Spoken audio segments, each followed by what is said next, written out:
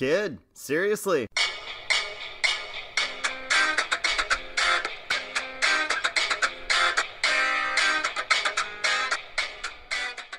Hey y'all, welcome to the skeptical return of the Kid Seriously show. We are the only podcast that is not currently sponsored by Rocket Mortgage, and I'm not bitter about that.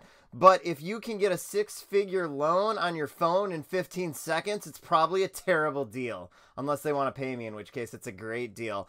So, anyways, we get together here every so often, or technically once a week, to uh, talk movie trailers that are out and play arbitrary pop culture game shows. As you may have guessed, I am not your normal host at Maya Madrid. We recently buried him on the Oregon Trail as he died of dysentery, and hopefully we can resurrect him for next week. But right now, it is me, Luke Neitzel, and I am joined by my brother from the same mother, Mark Neitzel, out there in sunny California. So, let's jump into this. Mark, what's new with you, buddy? Well, I am knee deep in the middle of packing because I am leaving sunny California. So my life right now is boxes and bubble tape and wrapping paper and trying to decide do I really need this giveaway towel that I got from that one Niners game I attended three years ago? Of course you do. You never know when that'll come back, and you need to prove that you're a big Niners fan because they they win something. Oh yeah, yeah, yeah. Jimmy Garoppolo, he's gonna be big someday. Oh, he's the man. Hey, so what did you do this weekend besides packing? I don't even think I talked to you this entire weekend. Um, well, let's see. Okay, so I packed. I watched the Quakes lose three to one. Oh, man, I I'm not trying to pile on because my team sucks too. But wow, I turned that thing on and tried to watch the first little bit of that. That was brutal. oh, it was it was horrible. And I mean, okay, so the giveaway for the game is the Wondolowski 143 goals pin, right? A little pin commemorating that he's on his way towards breaking the MLS scoring record, right? Yep. So on Wondolowski pin night, hey, let's start him on the bench. yeah, especially because you have and you have so much on the line too, where you know tactically or whatever, you really need to go with your best eleven rather than pumping the one positive story you have. Right. I mean, the, right. you're playing for nothing. There's three games right. left. And of course, the second he comes on the field, he energizes the team. He's got shots on goal. He scores. But, you know. Hopefully he starts the rest of the way out. And then my other worry is like, you know, he's going to set the record, I think, this year. Like, I think he's going to get another, or tie the record at least this year. Yeah. But man, you just really don't want him to set the record when they're down six to nothing. Like, you, right. hope, you hope the goal actually means something when they do it. Well, that's why we've got big hopes for uh, next week when they're playing Colorado at home, because that's a real garbage fire team that they could possibly beat, and he could put two up on, and then oh, the season on a high note. That is kind of a Cinderella note. They bet. Watch, they won't start him. they'll they'll rest him for the season finale or something like that. Yeah, no, that wouldn't surprise me with our front office. So I'm trying to think. Other than that, no, we didn't do a whole lot. It's Fleet Week here in San Francisco, so ooh, sailors. Yeah, town is invaded by sailors in the bridge and tunnel crowd, so it's advisable for us to just kind of stay inside and hide. Oh, what are you gonna do next year when you don't have Fleet Week in Oregon? I'm going to have my windows open at three o'clock and not worry about the Blue Angels scaring the shit out of my cat. Oh, I suppose that could be a bonus. Yeah. What about you? What were you up to this weekend? I didn't do much this weekend. My partner's, uh, her dad had his birthday, so she went to Madison and spent the weekend with them. They went to a concert and all this other stuff. So I was home with the kids, and uh, other than going to a soccer game, I sat on the couch and watched a shit ton of sports. It's my favorite month of the year. All the Halloween stuff I always drawn drone on about, but also uh, the NHL came back this week, so I got to watch my absolute favorite sports team, the Wild, look like shit for two games, um, and just watch multiple game upon multiple games. So it's not a weekend anyone will ever remember, but I had a good time with it, so I won't complain All too right. much. And that's what matters. Exactly. So are, are the Wild projected to even have a chance this year, or? Well, they didn't really change their roster much because they don't have a choice, and they've kind of been this middling team around. They get the last playoff spot about, and then they get eliminated in five games mm. but they're getting older. The guys that they were counting on to develop really aren't developing. And everyone else in the division, it's already the best division in hockey, and everyone else seems to have gotten better. So I think this is going to be a real bottom out season. But they could use a season or two of being the worst team in the league. I mean, they won't be that bad probably, but they'll be bad. And that's, I think, the one thing that has held them back in their almost 20 years is they were kind of too good out of the gate expansion wise, where they just never got to be the the worst team for a few years and stockpile real talent. So maybe now's the time to to really just bottom out and kind of rebuild this thing because it it doesn't look pretty and it's not fun to watch. Well, you know, and I was just thinking that you need to have a bad team to follow to be humbled because of all the success your other teams have been having these last three oh. five. Yeah, it's a banner year for Minnesota sports again too. Like the Twins were terrible. The uh, the Timberwolves, you know, they got into the playoffs for the first time since 2004, I believe, and immediately their best current player wants to be traded away. Uh, the Wild are going to be bad, and the Vikings had a nice win today, so maybe they're rebounding, but not the start we were hoping from them. Even the Lynx, who are kind of the reliable one, had a bad year. So, yeah, uh, at least Arsenal won five to one, and you know Manchester United has to celebrate the fact that they can beat Newcastle in the last second. So, there are some things going well for me. Uh, are you on the the Brew Crew train? I am very much on the Brew Crew train. Very very excited for that. That's the one team here that I've really been able to get into so it's nice to be able to kind of like identify and have that you know you can share that with other people here it's a good bonding thing so they they just made their way to the nlds uh, like an hour not even an hour ago and they're really exciting so that's that's been really fun i already promised my son he could buy a christian yelich jersey if they made the world series and my daughter can have a brewers build a bear if they make it so we're hoping they can they can pull off a, a win in the nlds here everyone wants to see the dodgers lose i assume yes yes. that unites everyone. Mm-hmm. Well, why don't we uh why don't we jump into this? Okay. We are okay. going to play everyone's favorite arbitrary pop culture game. Am I right? Am I wrong? Am I right? I wrong? Or am I just dreaming? And how this game is played is we make a series of arbitrary pop quest- uh, pop culture questions, seven to be exact. We take turns administering the questions, and whoever administers the questions get to arbitrarily pick if your answer is right or wrong. Now we are obviously mileless today, so I will be competing on my own versus the judgment of one Mark Neitzel who made these questions. So I'm going to do my best to try and pick the right answer as he uh, he go makes his way through the pop culture questions of the day.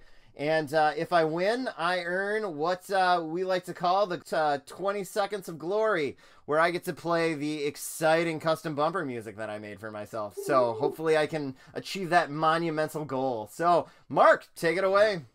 Okay, so we're doing the game a little different today uh, because I've been packing and getting ready to move, and so I didn't have a lot of time to really do much of anything. So we're going to have to uh, improvise here a little bit on my preparation. So I'm going to be giving you a series of either or questions. Okay? Ooh.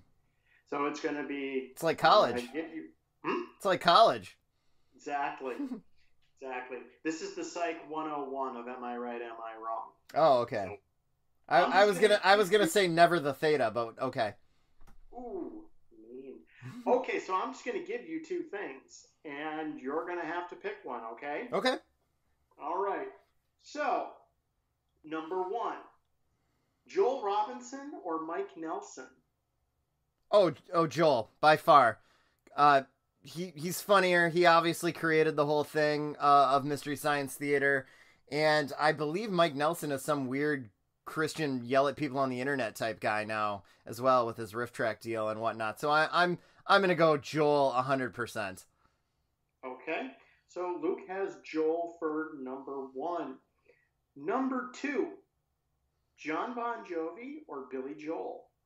John Bon Jovi because I think he's more self-aware of what he is at this stage and is more embracing of that. Where I think Billy Joel might think he's John Lennon and I don't dislike either of them that much, but I appreciate the fact that I think Bon Jovi kind of gets who he is and where he fits in the, the spectrum.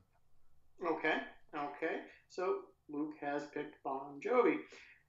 Number three, Kurt Cobain or Dave Grohl? Well, I, I don't care if anyone else thinks this is the right answer, but I believe that Kurt Cobain is a little overrated. I think um, I, I enjoy listening to Dave Grohl's music more. I think it's more repeat listening than Nirvana. I don't think Nirvana has aged well for me, and I kind of feel that Kurt Cobain grew into that cult of personality status where who he is kind of overshadowed what his art actually was and has become a bigger thing than what he actually produced. I don't re-listen to a lot of Nirvana. I don't like a lot of Nirvana when I go back to it even though I liked it at the time where I still do go back and listen to Foo Fighters and I do redo it and I think Kurt Cobain's fallen into that status where nobody wants to say they don't like him because then they'll feel stupid or people will tell them that they're wrong or whatever like we all just have to accept that he was, you know, like the greatest musician of the last 20 years. And I just really don't think he was. Like I, I appreciate the contributions he made and he he definitely should be remembered. But if you're asking me who I'd rather listen to, I'm gonna take Dave Grohl every single time. I just prefer what he does more. Okay, Dave Grohl. Question number four Montgomery Burns or Ralph Wiggum?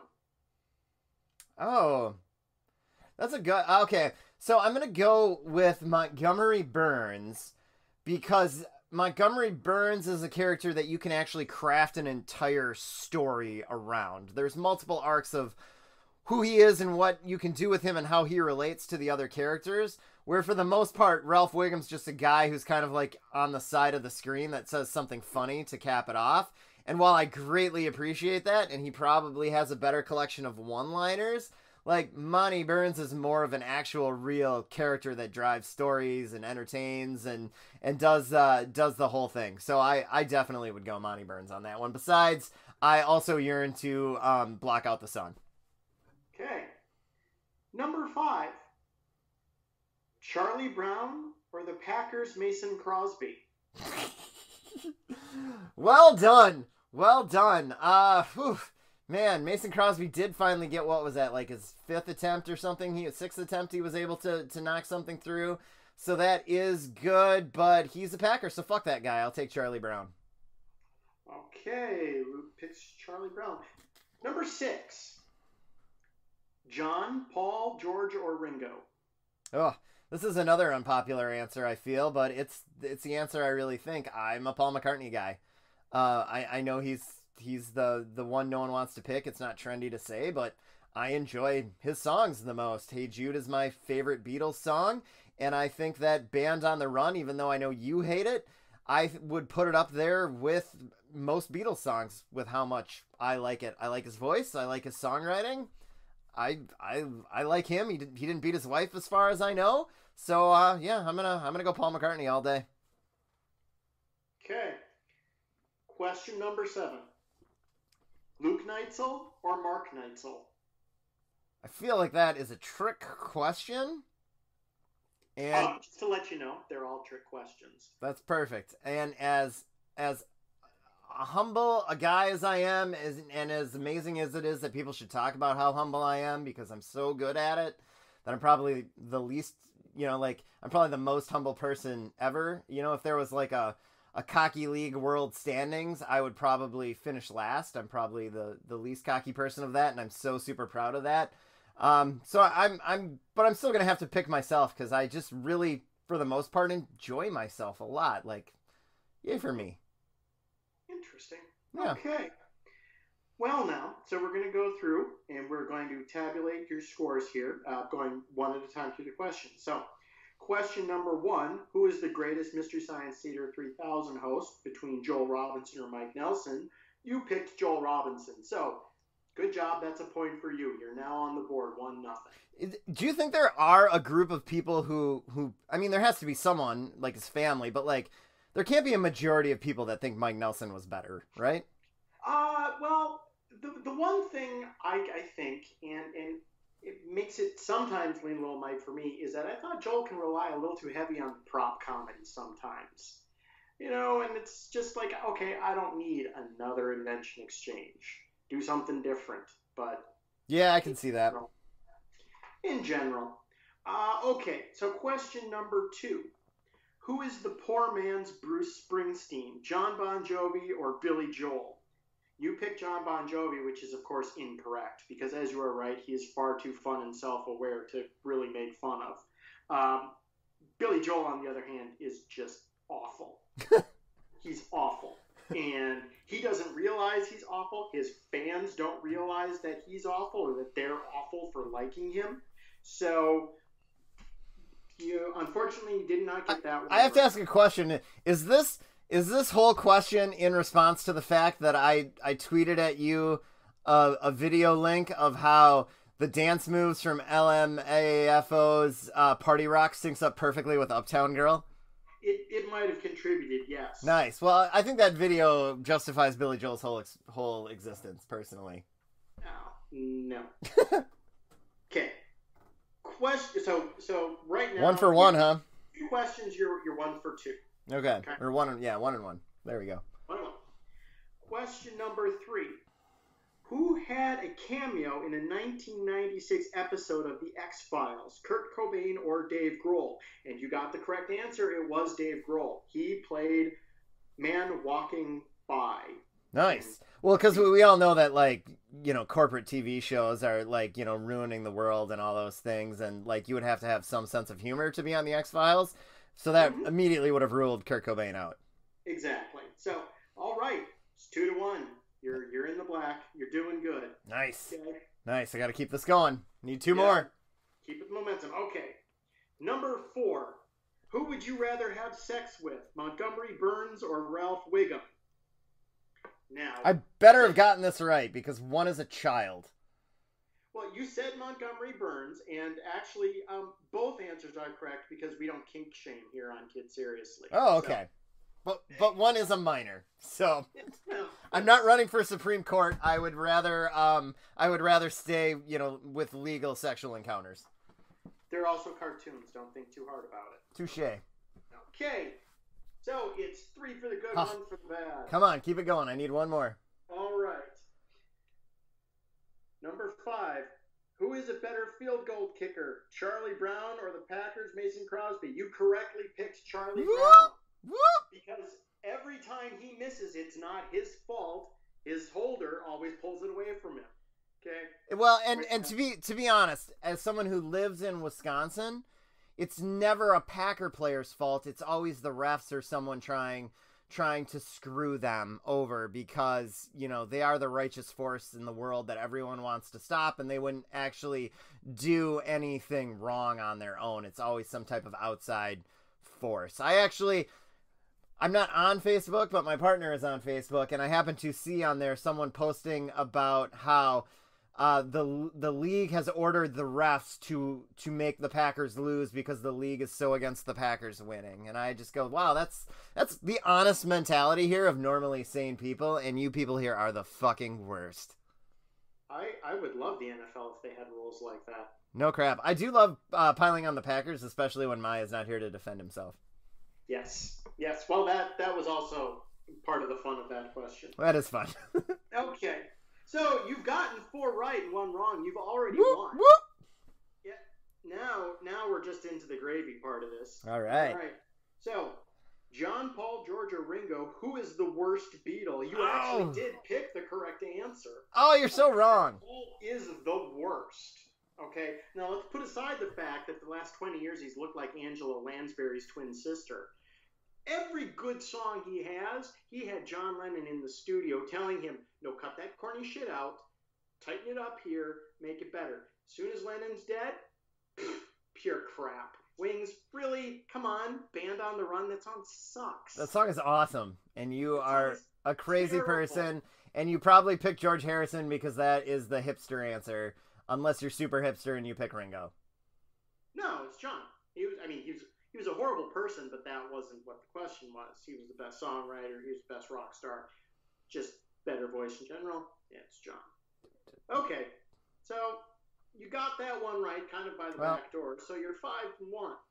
And then the last is question number seven. Also, are you implying that Angela Lansbury isn't super hot? Well, you know, hey, there are, like I said, we don't kink shame here, and some people are into neck waddles. So, you know, if that's your thing, God love you. You have a friend in the kid series. I, you know, I well, you know, I don't know if you ever sat down with our mom and watched Gaslight, which is one of her her favorite movies. And uh, I I remember watching that movie, and Angela Lansbury is the villain in that movie, and I want to say she was like 19 or 20, and she looked like she was 65. yeah. Well, I mean, you think about it. Murder She Wrote is what 40 years old, and she looked like our great grandma back. yeah, she was probably 35 in it. Yeah. Exactly. So, question number seven. Who is mom's favorite, Luke Neitzel or Mark Neitzel? Again, you got the answer right. but you got it Grandkids. Right for the wrong reason. Grandkids. Grandkids. Yep. Yes. So, I cleaned up on that. totaling everything up, yes, except for missing the Billy Joel question, you went, you almost ran the table. You were six for one, Wow. six for seven with one to the bat. So, yay, get your 20 seconds of glory. And I thank you. Here's my 20 seconds of glory. Boots and or cacao.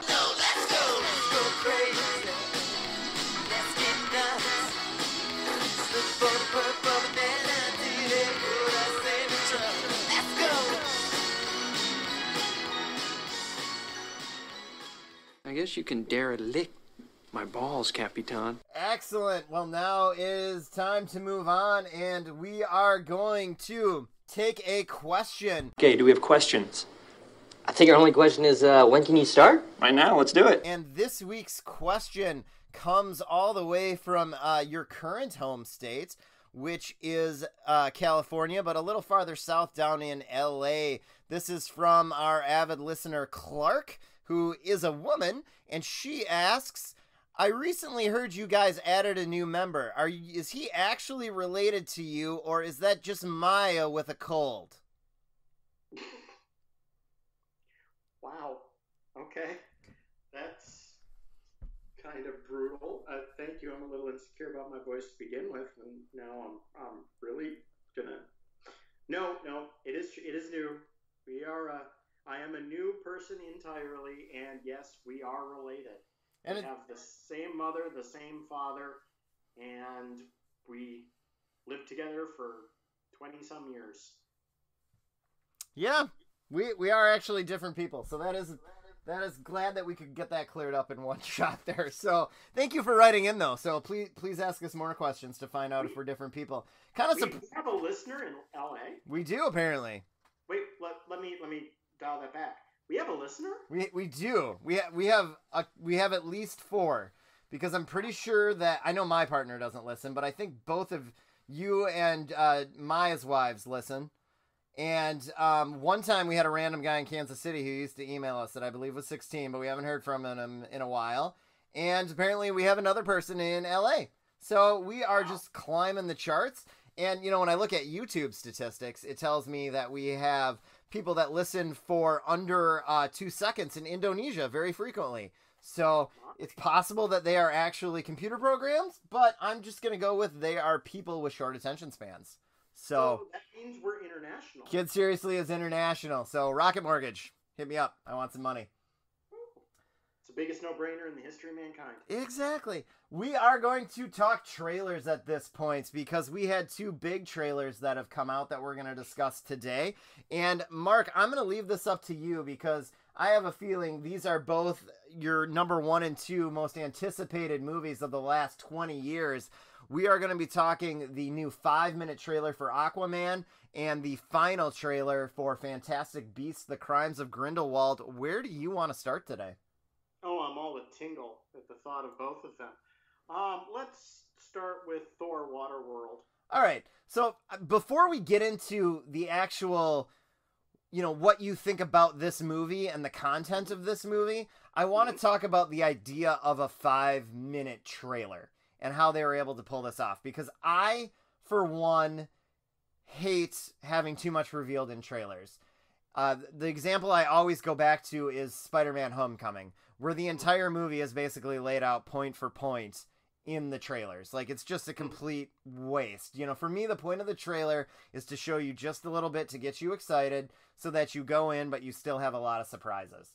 So I'm very against the idea of a five minute trailer because I'm worried it's going to show me everything that you could possibly want to see. I have to say that I think for a five minute trailer, I still saw more than I wanted to see, but I think they did a good job of not showing us every part of the movie beat for beat. And I don't know if you agree with me on that, but I was I was going into it thinking it was just going to be a quick run through of the movie, where instead it's really just a large focus on two scenes and then kind of a trailer within it. Yeah, so um, I hated it, Mm-hmm. and I hated that it was five minutes long because that stupid rooftop chase scene lasted as long. It felt like as the the car chase from Matrix Reloaded. it just went on and on, and oh my God, the guy in a helmet smashes through another wall, and he jumps, and uh, oh, it just it wouldn't stop. And it, you know, more than anything else, a trailer is supposed to grab you. It's supposed to make you excited. It's not supposed to make you bored three minutes into it. And that's what I was. So I'm putting aside the content and everything else from uh, just a structural point of view. It, went on way too long, and it was too redundant in what it presented in that chase scene. And so for me, it just I tuned out and I, any goodwill that it had built up in the beginning, and it had done some for me, uh, was just lost at the you know fifth time Amber Heard jump, jumps from one roof to the next. Sure, sure. I, you know, I, I, I have to say, so I, I know, and I know, I wish Maya hadn't gotten dysentery and died on the Oregon Trail because I know he felt, I think, even more, more. Oh, what's a good word for it? More, more violent vitriol for this trailer than you do. I, I was actually pleasantly surprised by a lot of this. Um, first, from the standpoint that I didn't feel like I got the whole movie, which is what I, I thought we were going to be getting. I like that it was you know they they show that desert scene for a very long period of time which seems like it must be very near the beginning of the movie and then the rooftop chase. I you know i'm not going to call it the greatest action sequence i've seen in a, a movie but it didn't turn me off in the way that it did you. So i was happy from that standpoint that it it it didn't give us everything because that's what i was really worried about. There is no reason to ever put out a five minute trailer and no one should do it. Um, two minutes is more than enough to get your point across, especially considering you're going to put out three to four trailers and TV spots and all that before a movie actually comes out. So let, let's dive into the content. Now, it's obvious you didn't like much of it. Is there anything that you pulled out of this that you liked? Well, no, actually, there was a lot of it I pulled out that I liked. I didn't like the structure of the trailer. Mm-hmm. I didn't like that they had this one long broken, unbroken segment that was very redundant. But I thought it looked Mhm. Um, like I said before, you know, Thor Waterworld, I worry a little that it's going to be redundant of Thor movies and oh, this all powerful trident that has all the powers of Atlantis. Gee, where have we seen that before? Um, but Jason Momoa, is it? Yep. Momoa? Yeah, Momoa. He, he was likable. Uh, I liked the kind of bro-ish approach to Aquaman, the, the, the point break esque surfer dude mentality he appears to be bringing to the role. Um, I thought some of the visuals uh, with the underwater battle towards the end were interesting with the giant crabs and the sharks. And it wasn't anything that I got up out of my seat and said, "Oh my God, I'm going to this opening night," it certainly seemed better than I was expecting. Um, I was really pleasantly surprised at the end how they used his actual Aquaman suit, and it didn't look completely ridiculous. I thought it looked really good, actually. Yeah, I, that was a pretty impressive. So it's not. I mean, yeah, I'm not going to see this movie in the theaters, and I, I never was. This trailer wasn't going to do anything to change that.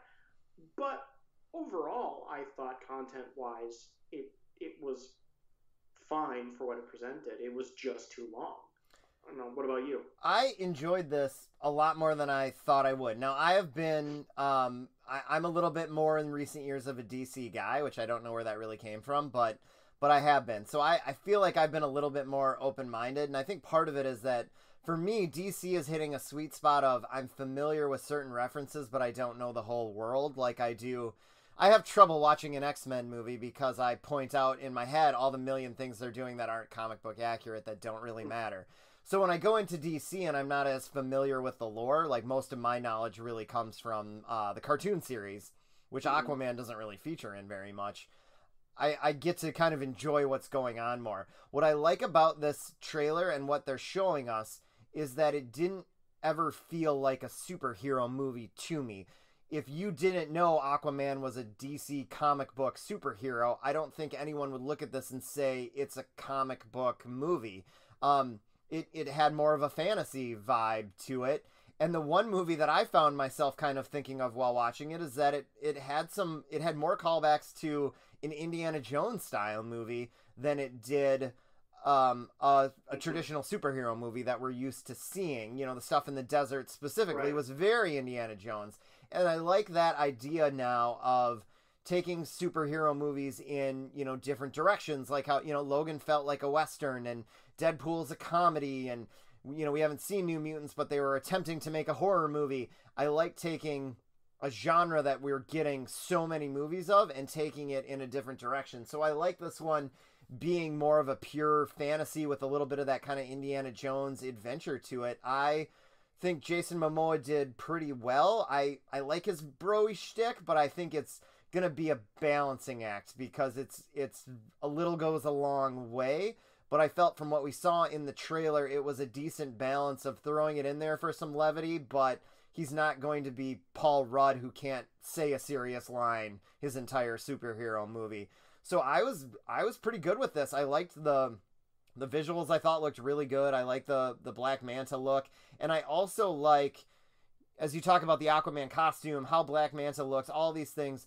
This feels like DC's finally saying we're just going to embrace the source material because people seem to like the source material, and we're going to make something in that theme rather than trying to think in our heads what would Christopher Nolan do and then make a shitty version of what Christopher Nolan would do, which is where I think Justice League and uh, Batman versus Superman and Man of Steel all fall short because they're they're less concerned about making their source material than making a Christopher Nolan Batman material. And I think this is the the direction they have to go. Now, am I as excited for this as I am, you know, for Avengers 4 or as I was for Logan or some of these other movies? No.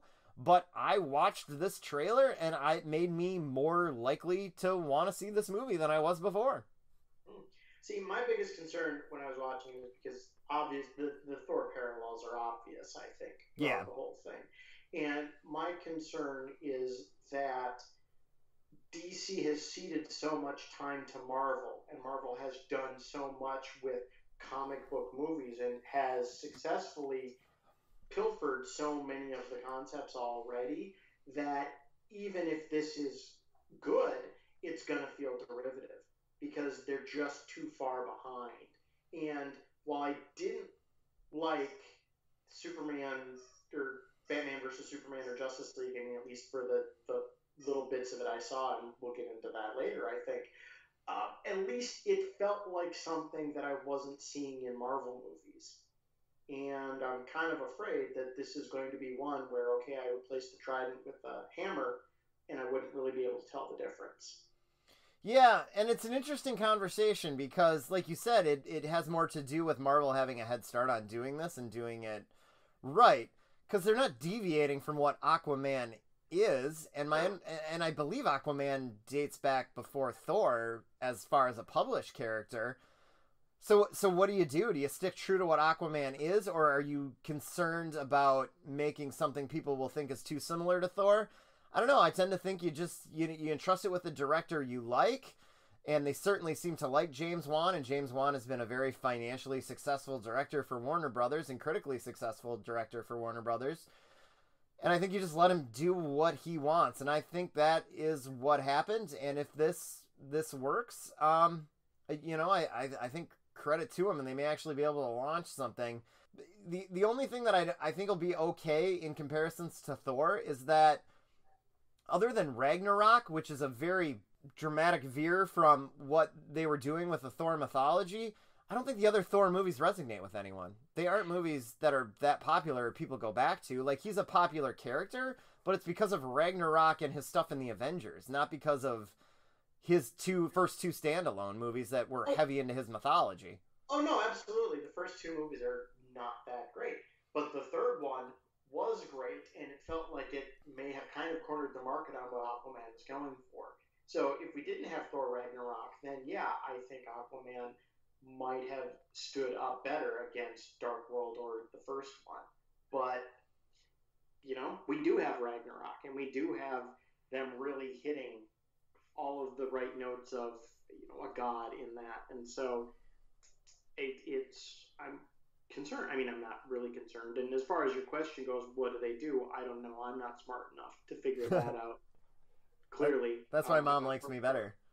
Yeah, I don't. I'm not Kevin Feige. I don't work for Marvel or DC, so I, I don't have the answer necessarily. Um, though, I mean, I do think that the biggest difference between Marvel and DC is that, and I'm certainly this isn't an original thought on my part, but Marvel has always been the world outside your door, while DC has always been more of a mythology. Right, the characters are archetypes. They're gods. They're the Greek mythology, basically, of the 20th and 21st century. And so, finding a way to lean into that a little more, I think, would benefit them. Now, that's a very rough thing for me to say, and I don't have much of a plan beyond that. But either way, it, it turned out a lot better than I thought it would, even though the trailer was too long. Enjoyable if that's your kind of thing. You know, plenty plenty of movies for all of us to watch. So if you're excited about it, God bless. I probably will not see it. So, bottom line, you knew an Aquaman movie had been announced. You saw this trailer. After seeing this trailer, did it make you more likely or less likely to view this movie at some point? Oh, it definitely made it more likely. Nice. Uh, yeah, it, it's definitely more likely. I didn't see anything in there that really turned me off. Um, I was also pleased that they did take away the most valuable lesson that we all learned from Sam Raimi's original Spider-Man, which is if you cast Willem Dafoe, put him in a full-on helmet where you can't see his face. nice, yeah. Yeah, good call there. We are going to move on now to the second trailer, which is the sequel to the first fa- uh, Fantastic Beasts movie and Where to Find Them, and that is Fantastic Beasts and the Crimes of Grindelwald, which seems to be kind of an all out war here as we have Jude Law's Dumbledore taking on Johnny Depp's Grindelwald as they fight what seems to be an open war, World War One, World War Two style time. I'm gonna say right up front that neither of us have seen a Fantastic Beasts movie, so we're gonna be lost on some of the details of the world and the mythology here. But this uh, seems to be pretty much a war movie from start to front, with Eddie Redmayne running around doing his best face the entire time. Mark, what did you think of Fantastic Beasts and the Crimes of Grindelwald? You got that this was a war movie? That's what it looked like to me. Wow. Okay. See, this trailer was horrible because it felt one like my eyeballs were constantly being assaulted by how quickly the snap cuts were, and I couldn't focus half the time on what was actually happening. It was just this blurry motion of CGI things going back and forth, and the colors were kind of muddy. And I honestly came away from this with very little idea of what I just saw. Um, I mean, I get that Johnny Depp is a bad guy, um, which, you know, good for him that he can still find work even though he's a wife beater. Um, interesting that we also saw his uh, trailer the same day that we reviewed uh, Amber Heard's. Uh, I didn't even think about that. yeah, but He I- does play he does play slimy very well. Well, yeah.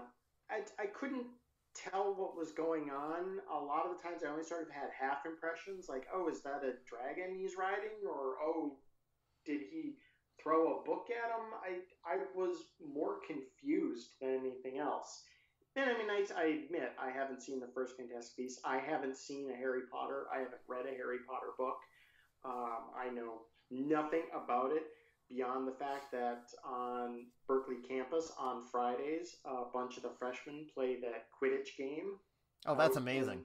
The field, yes, they run around with sticks between their legs because you can't really fly a broom, I guess. Hey, so whatever your passion lies, chase it, man. eh, you know, I'm, I'm not one to judge, but I, I I know nothing about it, and this trailer did absolutely nothing to clue me in on anything that was going on beyond it's about wizards and one's bad. I, I think that's funny because I take a few notes to do this, and one of the notes I wrote down was they do not care to bring in the novice in this trailer. No. This is a mm-hmm. trailer for people who love this world, which there are millions of people who love this world and will want to see it. There was no attempts to bring in the outside person on this. Like, mm-hmm. you either know this world and this is a bunch of things that are referenced specifically for you, or you don't.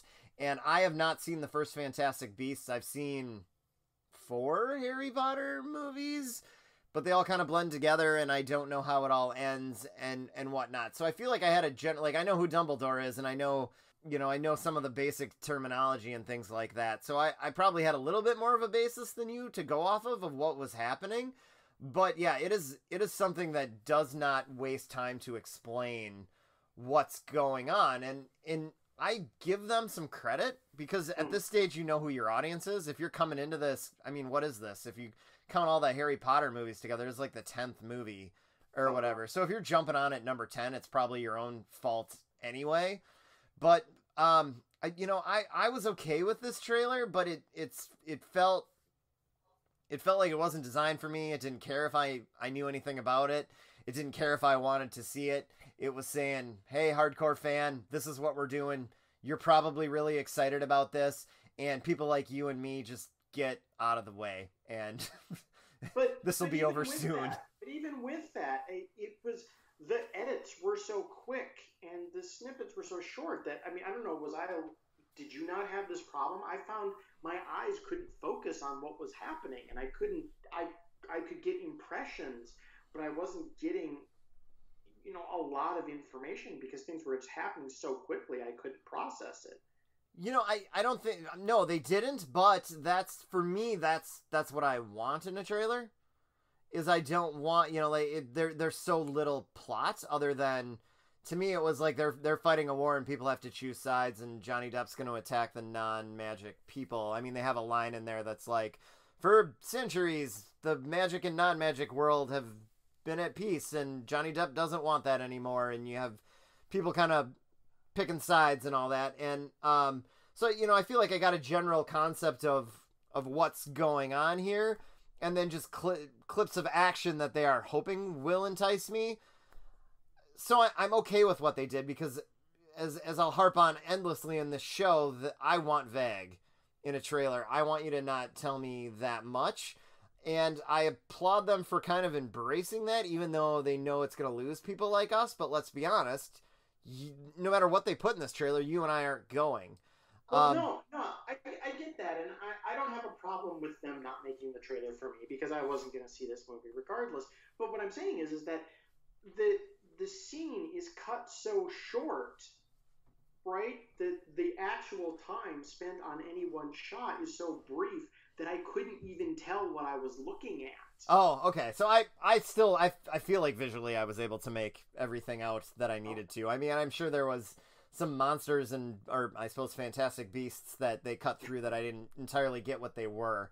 But I, I walked away feeling like I understood enough. But this would be a very much, unlike Aquaman, I saw this and went, "Eh, this makes me want to see it less. Like I, I wasn't going to see it anyway, but this does nothing to pique, pique my interest. Yeah, no, I mean this. I, I wasn't going to see this before. I'm really not going to see it now. The entire trailer was just shapes and blob colors moving back and forth over the screen that I I don't even know what I saw. And Oh. Eddie Redmayne's dumb face.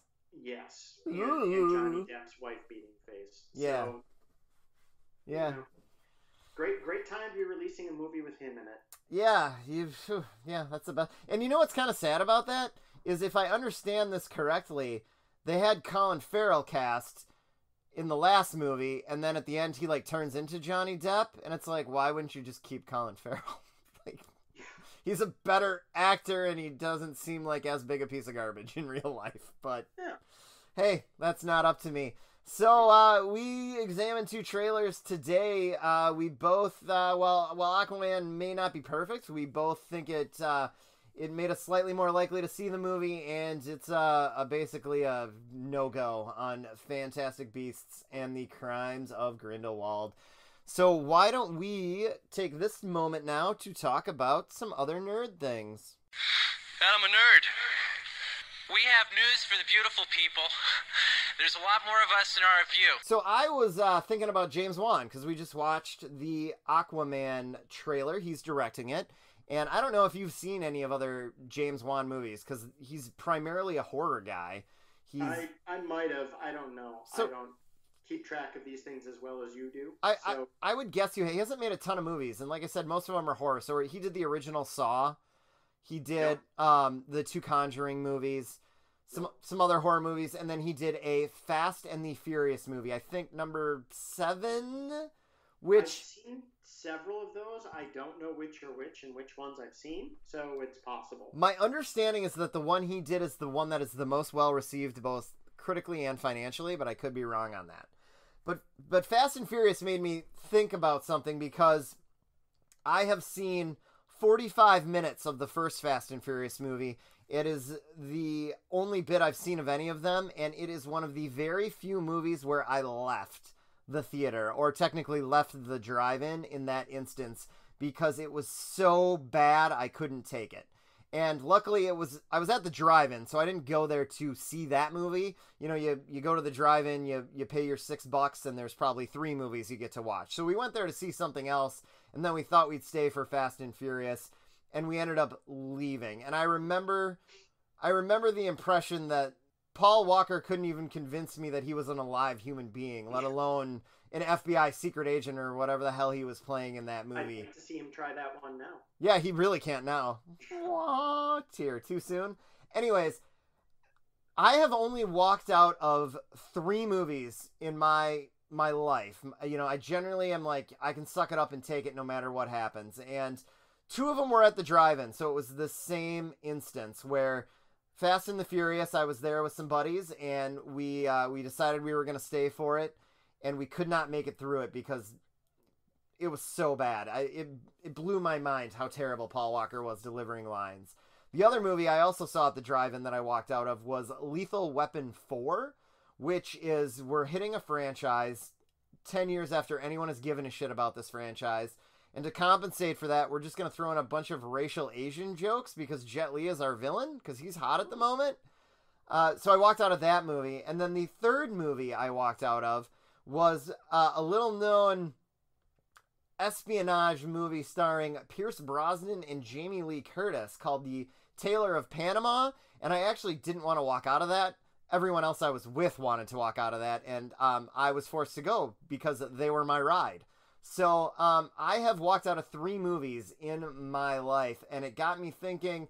Mark, have you ever walked out of a movie that you paid money for? And if not, are there any movies that you you paid money for that you wish you would have walked out of after completing? Okay, so I have never walked out of a movie that I've paid for. Um, are there ones I wish I have? Oh God, yes. There were. When you said that we were to talk about this, there were two that immediately came to my mind. The first one I would have walked out of, but I was there with my wife and my in-laws, and the in-laws had actually picked the movie. so I'm excited. they were also my ride. So there wasn't really anywhere for me to go. And this was Hitch, starring my two favorite actors, Will Smith and Kevin James. Oh wow. It was horrible. It was it was not funny. It was derivative. I actually wound up taking about a half hour bathroom break in the middle of it and and just hiding out in one of the stalls because I just couldn't take it. Um, but I wasn't able to actually walk out of it. I, I would have though. The other one, which I think you could probably sympathize with, was Avatar, Oh. Yeah. because I- mean, aside from the fact that the movie is about eight hours long, and it's just a horrible endurance test for anybody to sit that long in the theater. It's so awful and so derivative and just a steaming pile of white savior bullshit nonsense that it was awful. In fact, the, the only reason we saw it, uh, my wife and I saw it, and the only reason we went is because every year when the Academy Award nominees are listed, we go and we see them all. Right. And that year, for some god awful hmm. reason, Avatar was nominated, and so we put it off as long as we could, and then finally we couldn't put it off any longer. We'd seen all the other ones, and so we went to it. And we have actually instituted a rule now called the Avatar Rule, which is when the nominees come out, we are allowed to say about one of them, no, we're not going to see it. Neither of us wanted to see this movie. Both of us were miserable the entire runtime. Uh, but because at that time we had the policy, we kind of hadn't agreed to it, and there was sort of this chicken of neither one of us wanting to be the one to, to walk out on the other one with it. We sat through that whole god awful movie. That isn't yeah, that is a horrendous movie. That is the highest grossing movie of all time and it's yeah. Mhm. There's a there's an honest trailer about the the 3D release of um Titanic. And Mhm. one of the lines they have in there is 3D so real you can actually feel James Cameron stealing money out of your wallet.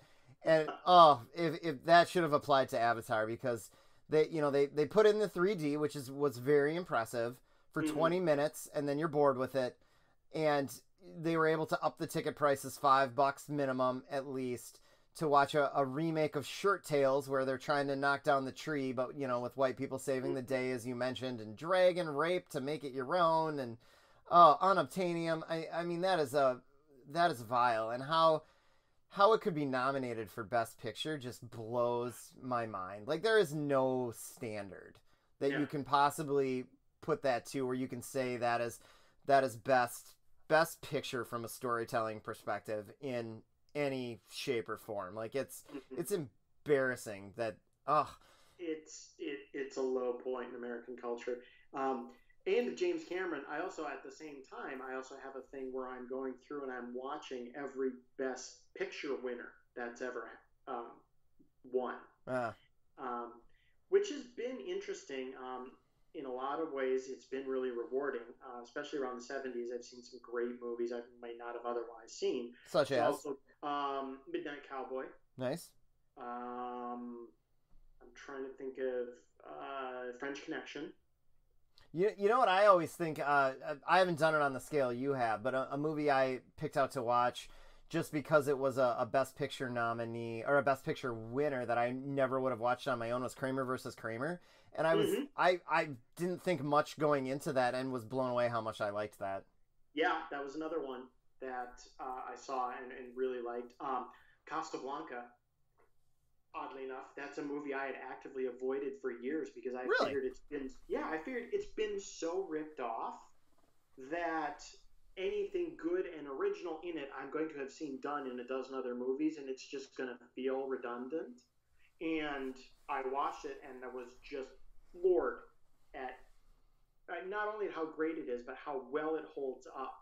And despite the fact that it's been ripped off a hundred times, it's better than every single one that's ripped it off in every way. No, the performances alone are so good that even when you you steal what they did from a storytelling perspective, no Mhm. one does it at the same level. Like that's, Oh, yeah, that's and- one that my partner and I that's like kind of our movie that we share Yeah. because we don't we don't sit and watch a lot of the same movies. Like we like spy movies, but other than that, we don't share any, you know, common movie interests for the most part cuz she definitely doesn't want to watch horror movies and I definitely don't want to watch Candace Cameron Bure.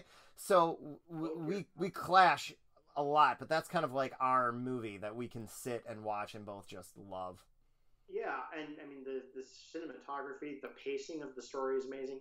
It, it's terrific. But anyway, so the reason I brought this up is because as a result of that, I also finally had to watch Titanic Oh, for the okay. first time, and if it wasn't for this whole thing and me being committed to watching start to finish every single Best Picture winner, I would have walked out on that piece of crap too, because that was so dull and just uninteresting. He he's he's Stephen King, right? Like come Yeah. up come up or George Lucas, come up with the concept, work on the special effects or whatever that you care about, let someone else write the story and the dialogue and manage the actors, and you would get so much from from James Cameron. I really think, but he's got to do it all himself, and he is so bad at everything outside of that. And he also needs an editor who's able to stand up to him and say, "No, this doesn't need the extra 45 minutes. We're cutting it out." Yep. But that's Like- never going to happen when you have the two highest grossing movies, or Exactly. is it one and three now? Hopefully. Yeah. Oh, there's like another five of them coming, so those will probably all. Well, allegedly, I'm still, and I, you know, I wonder the the thing about Avatar is, it's the highest grossing um, movie of all time, but it has no cultural stickiness. Yeah. Nobody talks about it. Nobody quotes it. Nobody rewatches it. They don't put it on cable. Like it isn't. It isn't Star Wars or any of these other things that you know. You know, like there isn't a line from Avatar I can quote and everyone knows it. Like yeah. It has no cultural impact for being the highest grossing movie, which is crazy, which I think makes these five sequels quite the grand experiment just to see like who gives a shit at this point. Like who's Yeah. actually going to go because I think you know there are people that that love it. My sister-in-law thinks it's the greatest movie ever made, and we won't get into that. But you know they'll she'll go see him, I'm sure. But like there's enough people like me who went and saw it because well this is a thing in culture that people are doing, so I'll go do it too. Mm-mm. Like those people are gone. Like you Yeah. could not pay me to see an Avatar sequel. So you know, like what what happens with these movies? Like they, i could see them being the biggest movies in the world, or I could see them being just colossal, colossal flops. I'm I'm sure they'll make a ton of money overseas in China, and they'll fund them until Touche. well past our. The other movie too that I would have turned off if I could have was The English Patient. I'm so glad I did not see that in the theater. That is a hard. That is a struggle. And and the book is terrific. I Oh, is it? to study it for a class um, as an undergraduate, and and the book has all kinds of layers and deep meanings, and it's it's really beautiful. And then that movie is just dull and ponderous, and oh, it And- was I. You know, I I have a whole new appreciation for that episode of Seinfeld now after having seen it. I don't And remember that episode of Seinfeld. You don't remember that episode? Of, it's where No. everybody loves the English patient and Elaine hates it. Oh, good for her. And and she can't talk about how much she hates it because everybody's so in love with it. And then finally her boss, J. Peterman, takes her to the theater to see it. And about halfway through she just can't take it anymore and she just start stands up and starts screaming, Die already at the screen. Ah, that, that- that is good. And let's also not forget what it beat to win Best Picture. It beat Fargo, yes. which yes, arguably the greatest non Tales from the Crypt movie of the 90s. yes, yes, exactly. So yeah, the English Patient is. I remember watching that. I watched that while I was sick in in my bed, and I don't know how long that movie was, but it felt about six hours long. Ugh, it's horrible. And I don't think I could tell you a single thing that happened to it. I know someone died in a cave. That's all I got for you. Yeah, yeah. So I would have turned that one off if I didn't have to answer to myself for not completing it. So Well, those are the those are the movies that I I would have walked out on if I could have had the the moral courage or the ability to stand up to my in-laws. Nice. Well, speaking of moral courage, it's about time to have the moral courage to walk away from this episode. We are all done for the night. Mark, where can they find you online? Oh, they can find me on Twitter at Wink Martindale Five. Nice. You can find our dead friend on the Oregon Trail at Maya Madrid. You can find me at Twitter at Luke underscore Neitzel, N E I T Z E L. All three of us combined are at Kid Seriously. And uh we will see you next time, I guess. Bye.